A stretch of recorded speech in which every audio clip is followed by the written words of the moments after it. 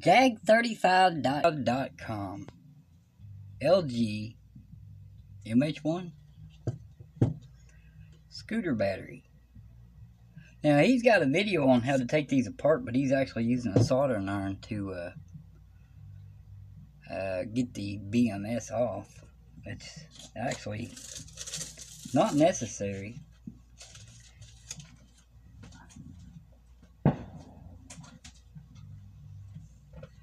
Oh, and I forgot my intro. It's Steven at his kitchen counter again.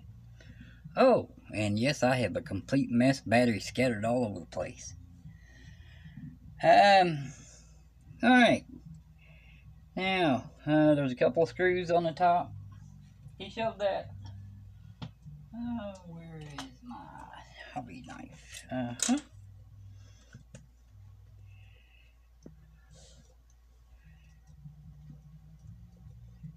Just cut the silicone out on the top side of the screws. Believe me, there's plenty more screws in this thing too.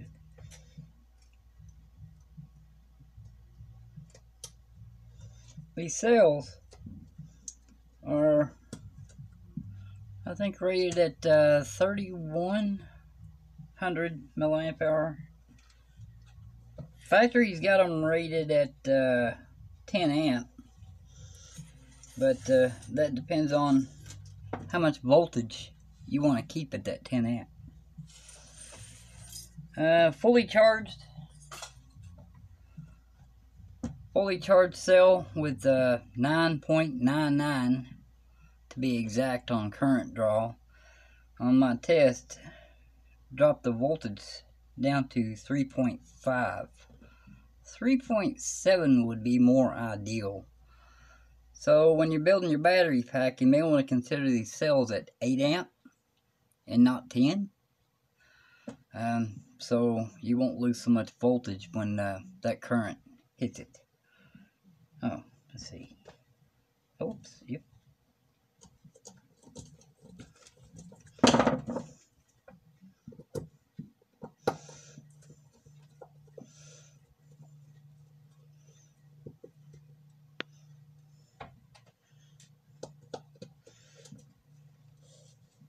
Trying to keep this in frame. These, these batteries are pretty long.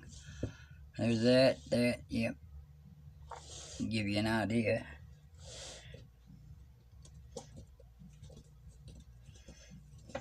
In fact, a better idea is there's my hand. And there's my elbow.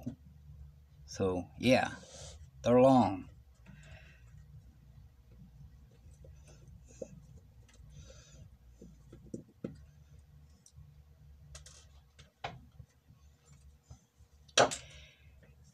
Now, no one should have to care about this BMS. Um, let me go ahead and prep some other stuff.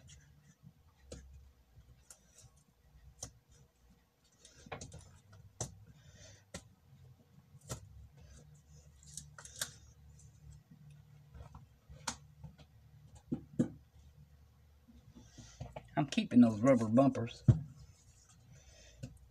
They might come in handy on my current project.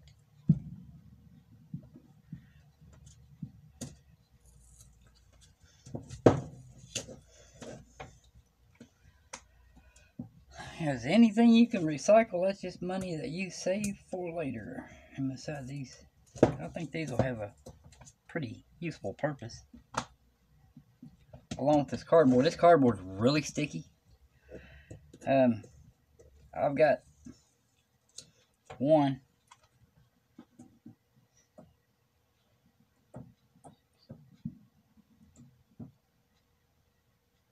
Fourteen, sixteen, eighteen.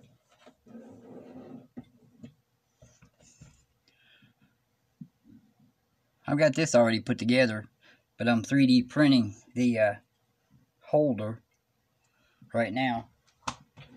Um, those pouch cells are going to take me quite a while.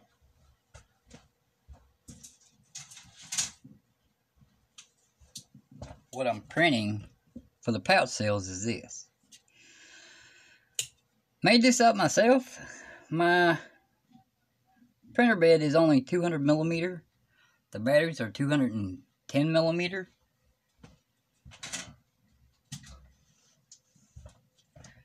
The idea came from this. So I've, I've got holes. I'll have to mount all these together with uh, lag bolts. Not lag bolts, but uh, threaded rod. And these cells you can get at batteryhookup.com. They are four bucks a piece. And they handle up to 200 amp, uh, 400 amp surge. They're only 8 amp hour though. That's the downside.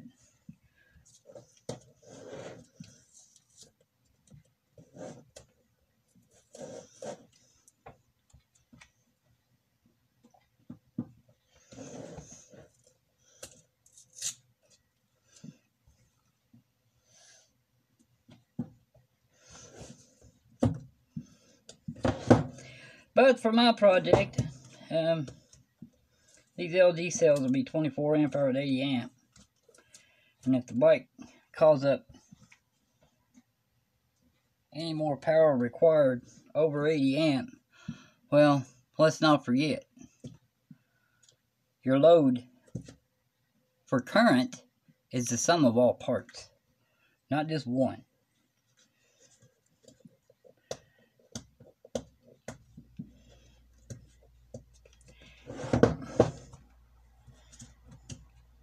Will admit, it's a bit annoying peeling this very sticky masking tape off. And to me, that's what it is, because it's kind of a cross between plastic and paper both.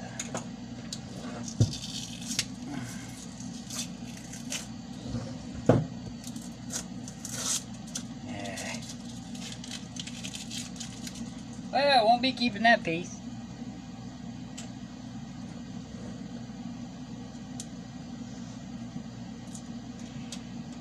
Now, once you get the cells out of here, or if you want to use this mount style on another project, I suppose you could. Just rip the BMS off of it if you need something for 20S. Personally, I'm doing 21. So 20S ain't gonna cut it.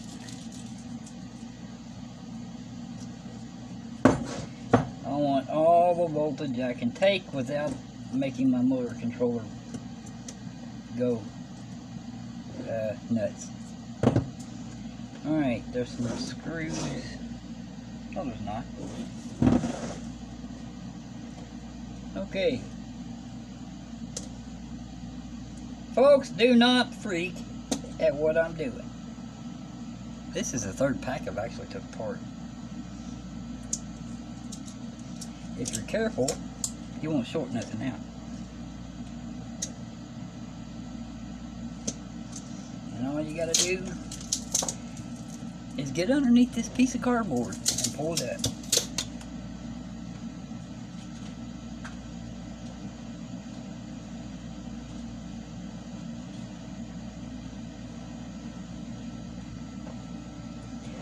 Okay, these strips are a little annoying to try and get up, so if you've got a small precision screwdriver, a small straight bit, you can go underneath, catch a lip, ow, yeah, mmm, that hurt, cut my finger the other day trying to get one of my parts up off the bed. Some people are complaining that their parts not sticking. I'm complaining my parts are sticking too hard. I don't quite get that, but okay. I wish they'd stick a little less. Alright. Pry your corners up. And if you got a small set of side cutters, even a larger set, I wouldn't go too big. But yeah, a little pair like this.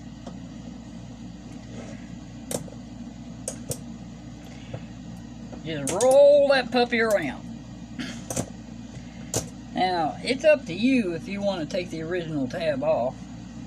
Personally, I don't want to deal with the little nub sticking up, so I'm trying my best to actually leave the original tab, factory tab on it. With the exception of what gets ripped off doing this.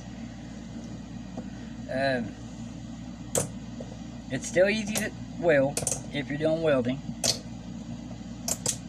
And, ooh, do you see that? Spark fly. Um, and if you're doing soldering, well, it's nickel strip. For sure. Won't be any problem soldering to that. And plus, well, that's factory weld that goes to it. And it gives you one extra layer of protection for when you're soldering.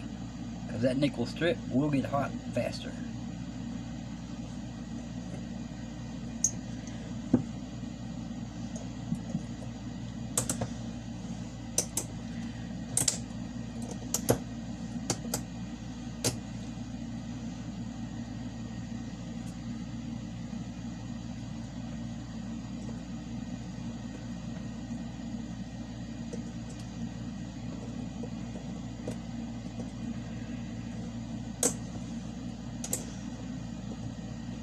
Ah.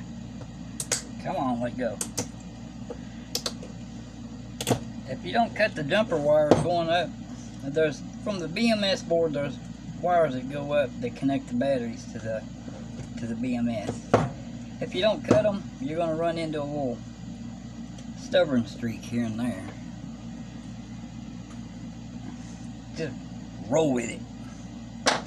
Okay, now next thing need to get your tabs down so you don't gouge your thumb like I did earlier.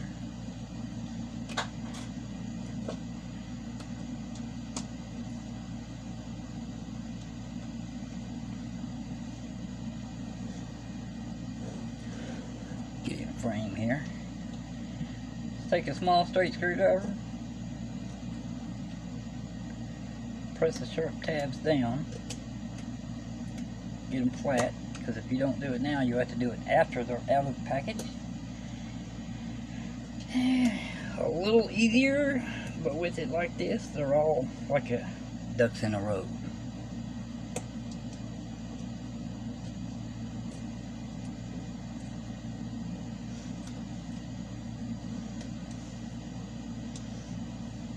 Oh, look at that. Done cut myself. Ain't that lovely?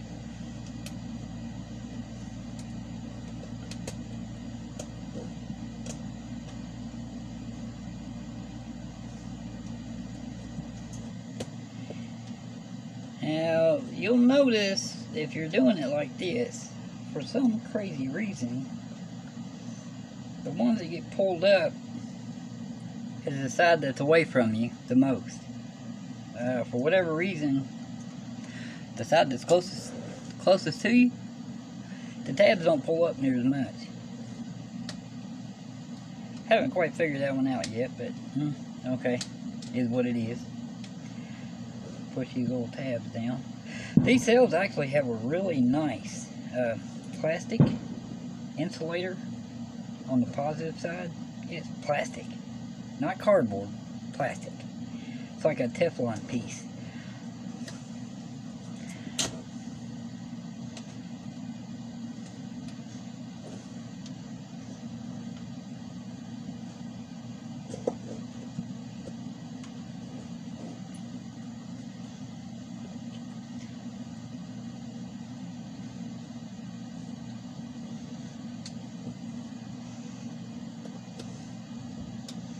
Now some of these you might have to give a little nudge if you keep the original factory tab on them. You might have to give them a little nudge flat after you pull them out of the pack. Now, the fun part. Oh, still got some tabs sticking up here.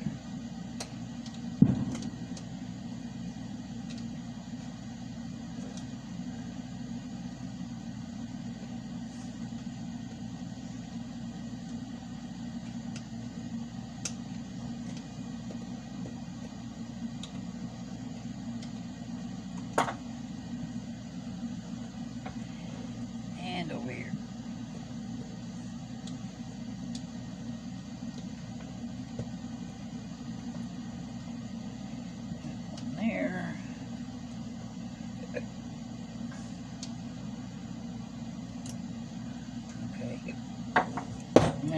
Tape off the battery. I ain't even gonna bother looking for the edge.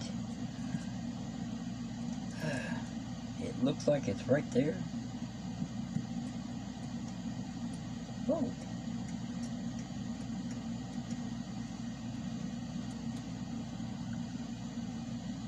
Ah.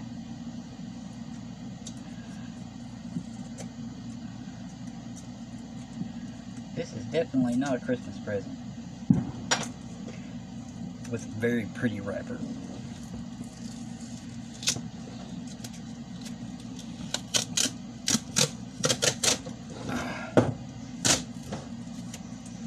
This tape actually comes off fairly clean, unless it rips to pieces.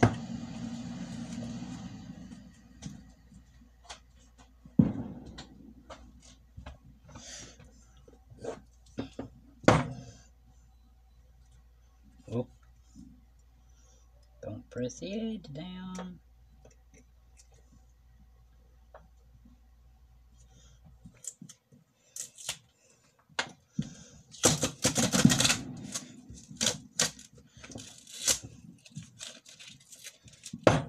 Here's the wires to the BMS board.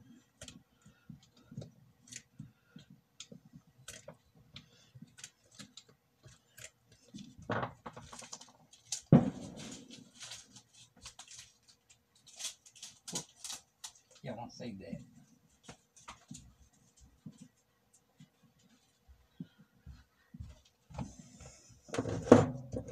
Alright, screws it out, tape is off, little rubber bumpers are gone. Now, um, the step at uh, J Jehu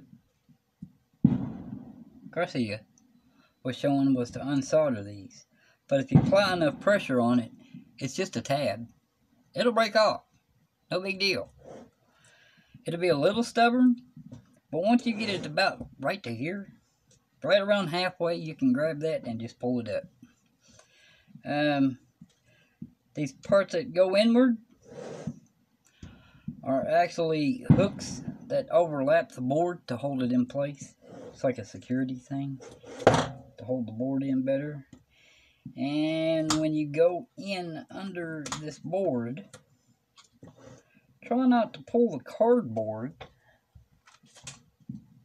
which is this stuff, underneath it up. That way you stay safe.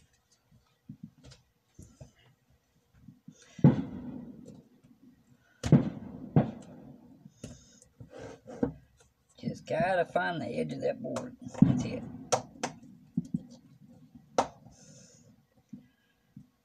Somebody's probably going to be saying right about now, oh my God. That's quite alright. Because sometimes you got to do what you got to do to get something. And besides, these BMS boards are no good. Alright. Another screwdriver. I think, yep, okay. I just got above that cardboard. Pry this out on both sides.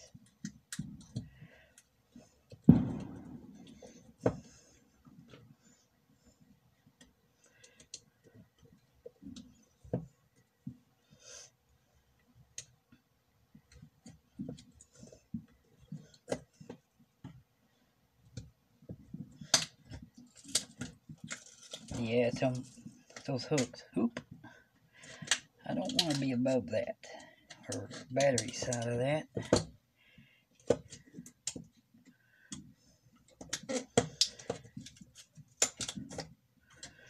Alright. Now, what I was saying earlier, that tab, you do not have to unsolder that tab. If you apply enough pressure, it will come up. And of course, the next thing that's going to get you is here and here, and here and here. But if you pull up and turn them at an angle, kind of twist them a little, um, be firm, and roll with it. Oh, look at that. Hmm.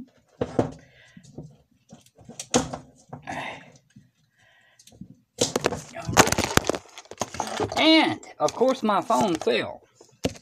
Alright, let's get you back up here. Okay, back in frame. Sorry, folks. You just happen to be in a danger zone. Pull it up just a little more. Nope. Right there.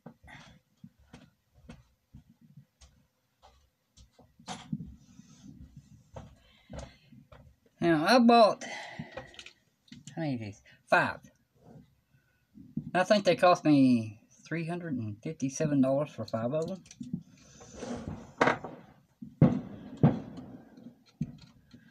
But, that was for 200 sales.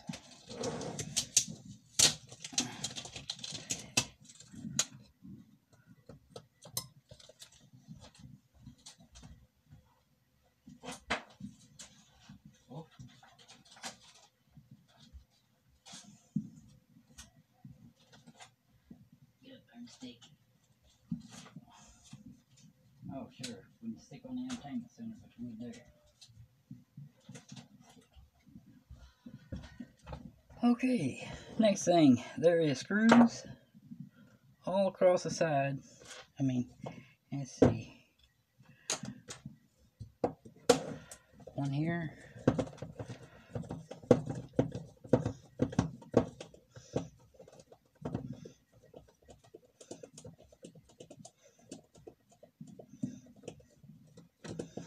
And believe me, there's more than just two.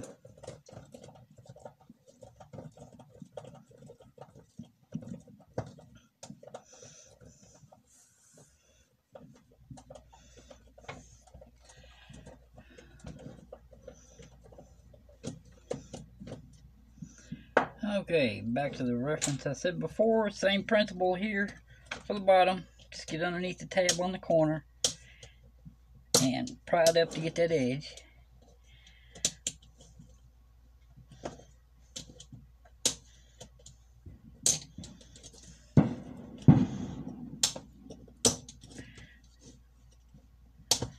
Getting that edge up makes all the difference in the world.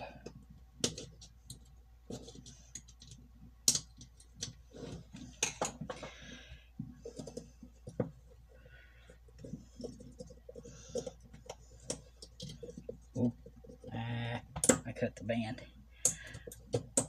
instead of rolling it out.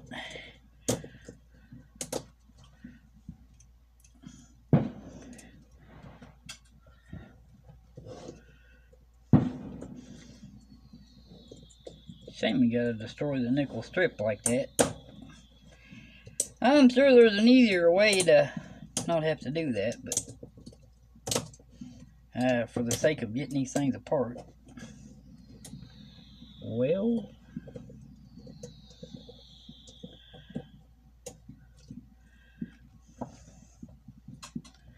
destroy it is.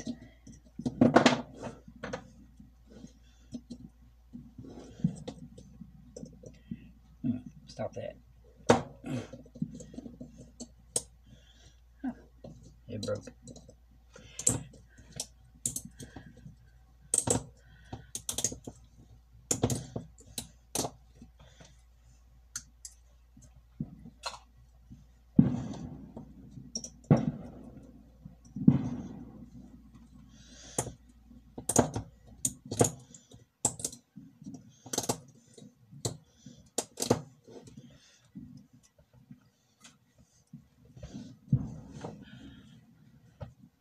Yep, you're still in frame.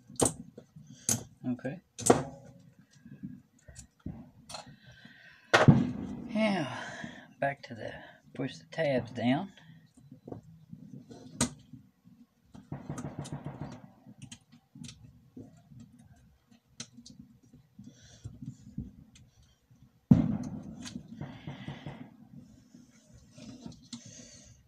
If you don't push the tabs down, just forget like I did. I really gouged my thumb earlier today.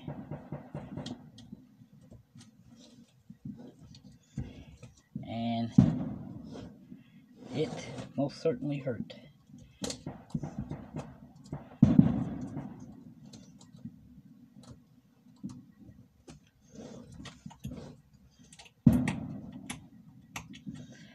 Fourth of July. The neighborhood is going nuts with fireworks. Don't want to hang piece out, out like that.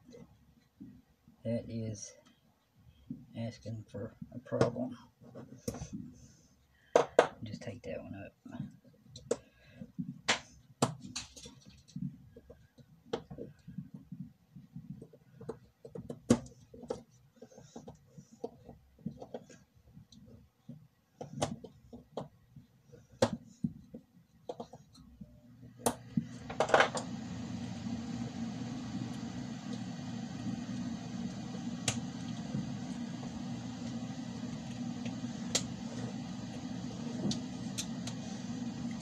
Ow.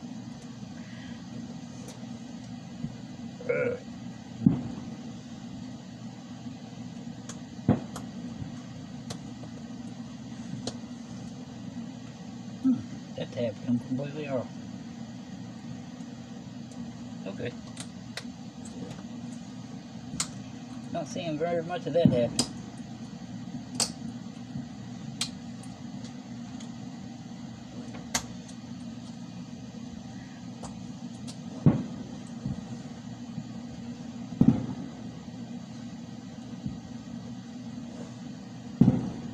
Alright, now, screws out. I think I already got this one. Yes. Alright. Now there's a band that's covering like half of these screws.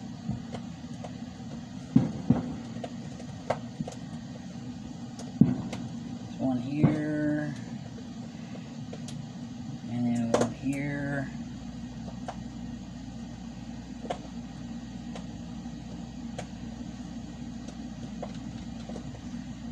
This one's already been gotten. Yep. And then one here.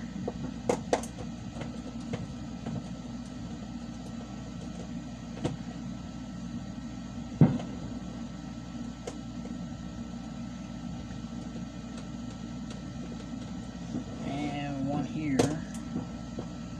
Like I said, that's not the only screws that hold these together.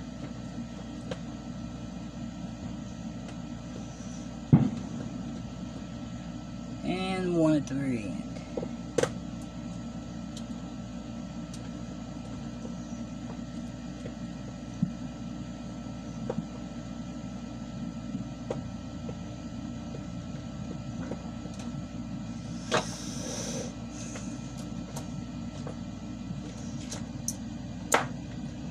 And now you're ready to reap the rewards of your efforts. Yep, right there.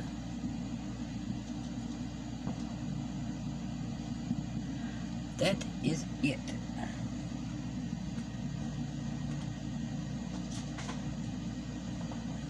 Let's see, how long was the video? Uh, 26 minutes? Or 28? Okay. What? Let me flip it around here. 28 minutes. That's about what it's taken me to get these apart. Well, maybe 25. Um, 25 to 30 minutes, you can have one apart, but you got 40 cells sitting here waiting to be used. Uh, I'm 3D printing, printing all my part, all my holders myself. Uh, just like that. Um, these are made differently than this, so they won't join together. Uh, but anyway, hope you guys gained a little info and I made it look easy. Um, but you definitely do not have to pull a soldering iron out to get that BMS board off. Uh, those tabs will break, they'll pull right out. Takes a little effort, just got to get used to the procedure. Okay,